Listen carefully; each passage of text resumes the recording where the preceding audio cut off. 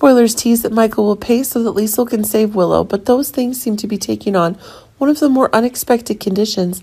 If Terry himself is introducing new unexpected conditions for the exact conditions Willow is desiring.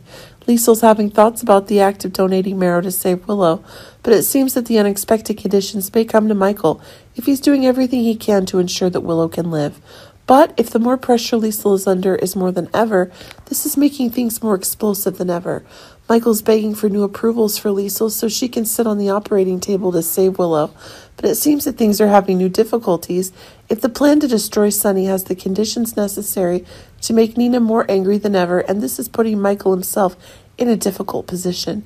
But it seems that if Michael himself is trying to stop the conditions he has to destroy Sonny, that he has in order to ensure that Sonny and Nina agree to help.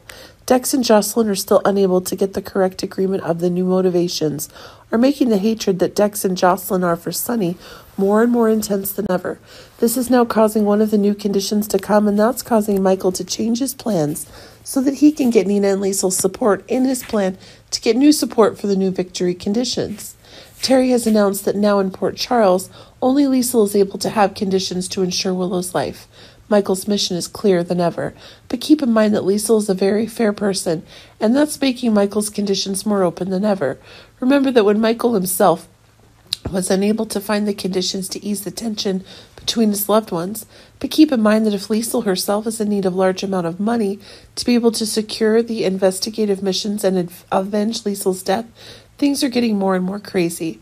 Liesl and Michael will reach separate agreements, and that's making it impossible for Willow to make decisions about her future. Now it is Terry who's agreeing that a secret operation will be performed, and that's ensuring that the very safety conditions that Willow are in are being secured as quickly as possible.